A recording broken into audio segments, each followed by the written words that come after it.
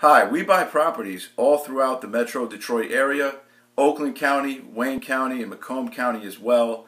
Simply click the link below this video right now so we can get started or call the number attached to the video. Once again, click the link below this video right now or simply call the number attached to the video.